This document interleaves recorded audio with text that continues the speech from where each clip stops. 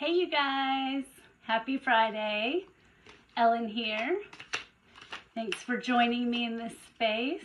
If you're returning, I'm so thankful. And if you're new, I'm glad you decided to stop by and spend a little time here. I'm just to pull a few messages from Spirit, see what they want to talk to us about today. Hope everybody's planning on a nice relaxing weekend. I think we've got rain here for the next several days, so time to tackle some indoor projects. I'm going to start tonight with the Energy Oracle.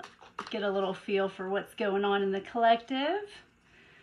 Take a moment to clear my energy. I ask that the Holy Spirit be present I ask my angels, my ancestors, my guides to protect this space, to keep out any negative interference.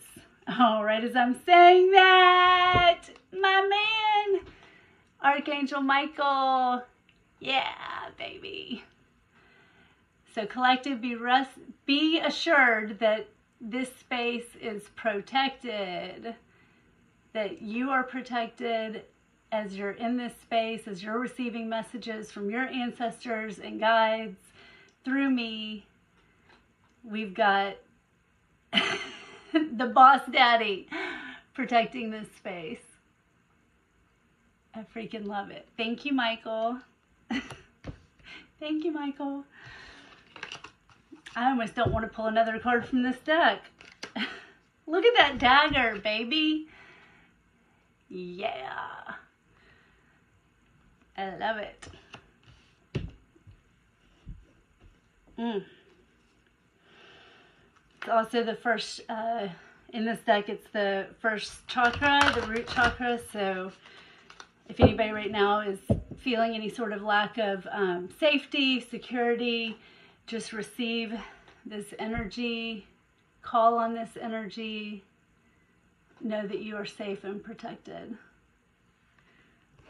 I'm so excited. I just want to like bask in the moment there. I actually don't get this card a lot, so it was kind of shocking when it flipped out like that. It really flipped out too. Okay, let me bring it back in here. So spirit, what is the overall energy that the collective needs to be aware of? I'm going to pull a couple. That one flipped. Woo! That one. Both of these, I'm not sure if they fell in reverse, so we can kind of look at them both ways. They just kind of flipped and were upside down until I flipped them over. Man, it seems like the messages just really want to come out because I'm not having to shuffle much at all. Let's get one more.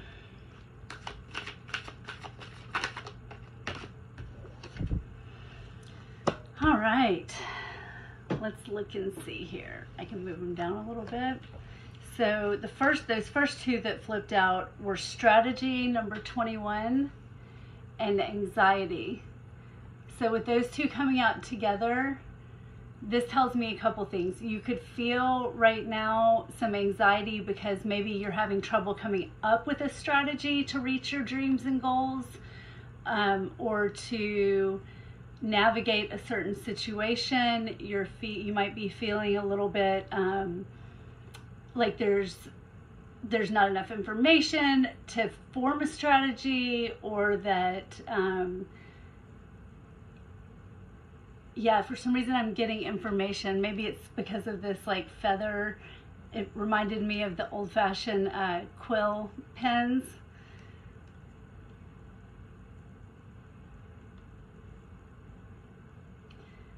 And then look at her, she's deep in thought. When you're in anxiety as well, you know, just from a biochemical standpoint, um, anxiety can also create fear, which triggers the adrenaline response. And so you're not actually thinking from that higher executive functioning part of the brain, you're thinking from the reptilian brain um, especially having if you're having any sort of trauma response in regards to this decision that you may be facing or this uh, you know this next step in your journey that you're trying to figure out you know what's the best way to approach it what's the plan what's the whatever. And so if those uh, thoughts are looping and it's triggering fear that maybe you won't figure it out or you can't figure it out then it's it can just feed into each other and become a cycle. So what i'm really getting to as a way if you're feeling this right now is to step away from the actual issue at hand clear your mind in whatever way you do whether that's grounding going outside um, distracting for a minute, you know, reading a book, listening to music that you like, whatever you can do to step away long enough to calm down that nervous system, excuse me, um, so that you're in a better place to be able to come up with a strategy to execute. So Gabriel wanted to come out with Michael. Okay, so you you are right now heavily protected with angelic support um, this one is the fifth chakra, so this is talking about the throat. Part of your anxiety right now might be not knowing how to, you know, how to communicate what it is that you need in order to move forward and what you're trying to move forward with. So Gabriel's here to help you open that throat, and y'all could tell I'm getting, I'm getting a scratchy throat too as I'm talking. So I'm also picking up on some folks in the collective that um, might be really feeling this energy right now of anxiety and worry and so Gabriel and Michael are here to say we support you, you're not alone. Really with Gabriel too, I'm I'm feeling his energy of like allow the divine in, you know, allow us in to help you form the words, to help you have the courage. You know, Michael, especially with the courage, is saying, like, you are supported. See, there's the throat again. Woo! You are supported. You are safe to say and communicate the things that you need to communicate. I love these guys so much. I do. Have to say it. Okay, so Spirit wants this portion of the reading, whoever's resonating with this, to rest assured that the cornucopia that you envision in your mind, the beautiful future, the beautiful harvest for you and your family and your loved ones, to put your mind at ease, to take the steps that you're able to take right now to um, keep your imagination in a positive way because our imagination creates reality. So keep your mind on the things that you're creating, the things you're calling into your life, the beautiful harvest that you've worked really hard for, and just know that it's coming. We've got the number 11. Some of you guys could be a life path 11. That number could have some significance for you. Okay, I'm to put these up here. I'm to go to the double deck for some confirmation either of this message or a completely different energy could come through this. So let's just see what happens.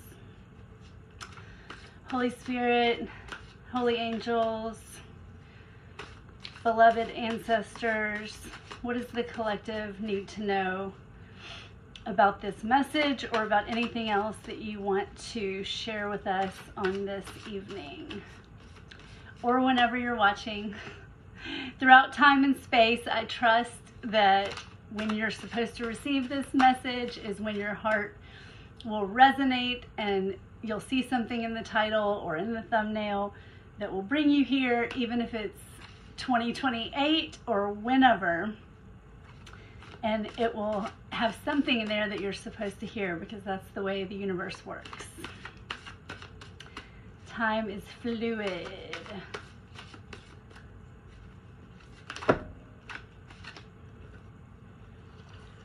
That's six cards. I'm going to put those back in and shuffle. that was just a big chunk that fell off. I did see the solar plexus chakra card though, so, you know, really, um, you can visualize an inner sun.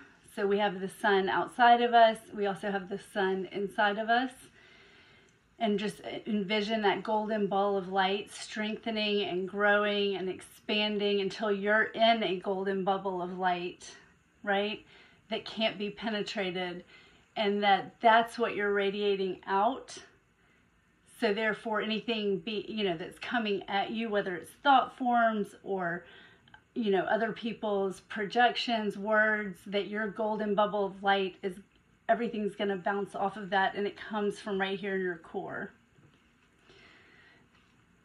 Let's go with that. I like that. I'll leave those two out. It's, it's this double deck. It gets me sometimes. My hand's not quite big enough.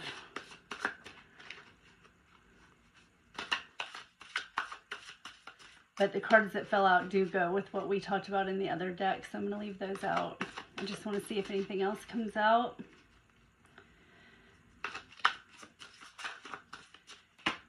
We have a big part of the Venus cycle coming up this weekend on the 3rd. Venus will be visible again as an evening star, so just before sunset, um, you'll be able to see Venus in the night sky in the west on the western horizon. Beautiful. She's been in the metamorphic underworld. How's that for a mouthful? But it's a part of her 19 month cycle and it actually um, doesn't happen every 19 month cycle. It's um, it's kind of unique. It happens more rarely. So you might have noticed that this, how long has she been there? Maybe this past um, few weeks especially, it might be a little bit longer, but have been a time of really being deep in the unconscious and subconscious and um, kind of like the in that stage of like the you might have been feeling like change is coming but it's it hasn't quite broken through yet. And so i anticipate that with this new evening star cycle after being in the underworld in the metamorphic underworld that there will be lots of butterflies emerging. And I love that.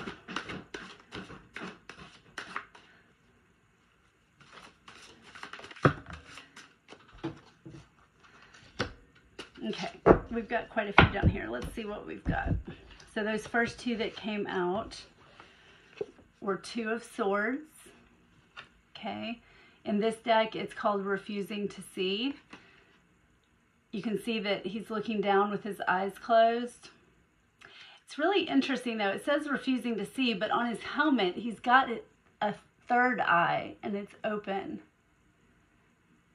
So to me, that's sort of contradictory because it does look like he's seeing.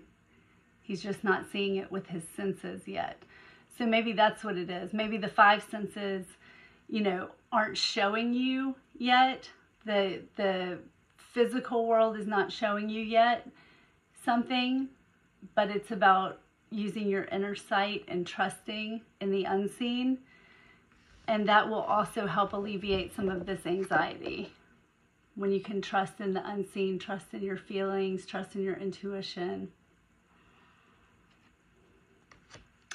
And that one came out with rest and reconsider. Okay, I do this every time. Let me think what purple is, what suit it is. Nine of Wands. So nine of Wands. So traditionally you'll hear people call it the wounded warrior. You can tell this person is, they've climbed part of the way up a mountain and they're worn out, they're exhausted. It's been a long climb. There's been lots of battles along the way. And so they're just taking some time. We are taking some time, maybe in these last couple days of this uh, part of the Venus cycle, taking some time to see what do we really need? See the knapsack? Like, can we unload anything from our baggage? Can we unload anything before we make that trek to the summit, to the apex of the mountain?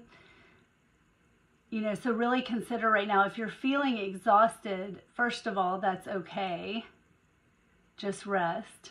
And second of all, consider the things in your life that are creating exhaustion and then figure out if those are essential for the journey or if they're just things that you've always carried. So you have the belief that you have to continue carrying it when really you may not right? You might be able to just leave it right there on the side of the mountain and keep climbing and feel lighter feel more rejuvenated have more energy. So i really like that combo coming out when we're not weighed down, we can see clearer, right? If we're weighed down, if we're we're stuck in that also in that distorted root chakra energy where we're feeling survival mode, we're feeling fight or flight, we're feeling adrenaline, it's really hard to make decisions. Well, it's not hard to make decisions, it's hard to make wise decisions.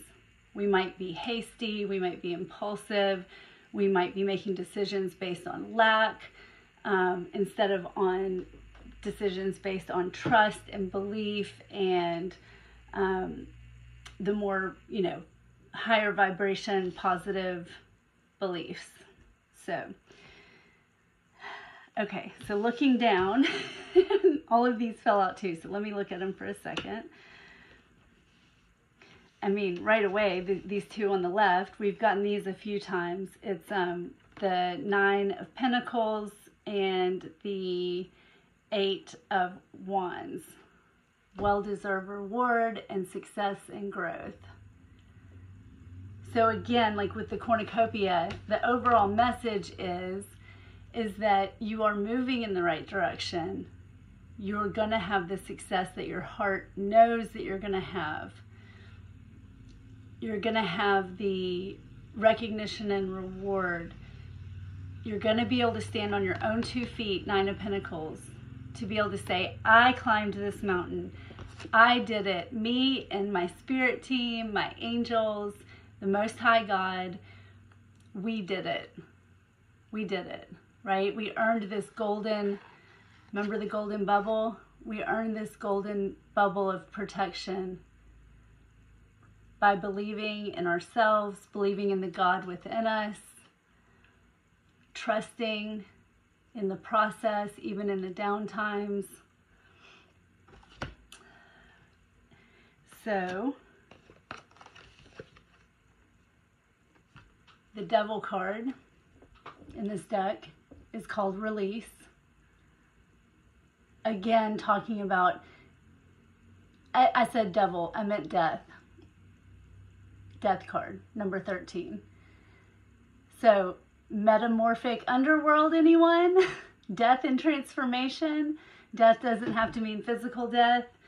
Death of the old, death of carrying the weight of the world. You don't have to carry the weight of the world. Release, release, release. Lighten your load.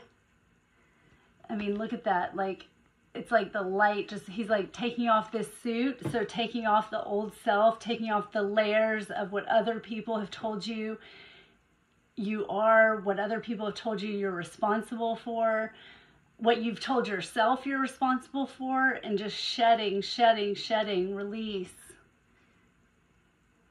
freedom in that. Light illumination so that you can spread your wings. Two of Wands. So you can keep on your ascension path, so you can move towards the light, so you can move towards your hopes, your wishes, your dreams, your highest possible timeline, your highest potentiality, right? With open arms to receive. I've been trying to practice this more, you know, of just being open to receive, open heart right? Open hands. Trusting, acknowledging having gratitude for what you already have, and being open to receive all that's meant for you. You're not trying to take from anybody else, you're receiving what is meant for you, what your soul has planned for you, you know? And that can just be love, companionship, uh, business partnerships, things that your soul planned before you even came here and that you're open to receive. You're not blocking, you know, you're not um, blocking with fear, with past heartbreak. You're releasing, releasing, dropping the baggage, starting fresh, clean slate, new day, right? And with that, comes the Six of Pentacles, reciprocal relationships, reciprocal with you and the universe, you and your higher self, you and the people in your life, giving and receiving in equal measure. Oh, this one's already at 21 minutes. Okay, I love it. That was beautiful. I'm going to um, close with our beloved animals. And then I will wish you all a wonderful evening. Until we meet again. Woo, right away. the owl. Some of you guys could uh, resonate with Athena. This is her animal. Goddess of wisdom and strategy. We talked about strategy earlier. You might need to call on Athena for her wisdom. Pay attention to the signs. Let's see, today I've seen 111, I've seen 222 twice. What else has come into my field? Oh, a big truck that said just in time. so if you're feeling like you're running out of time, if you're feeling like you're late, uh, like you're behind the eight ball, just know you're just in time.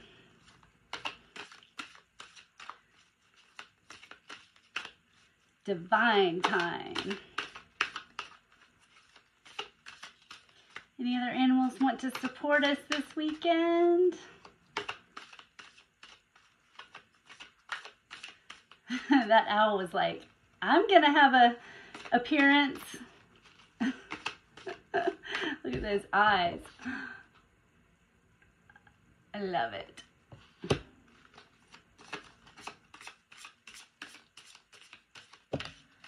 The frog, purification, release, release, release. Clear out the clutter.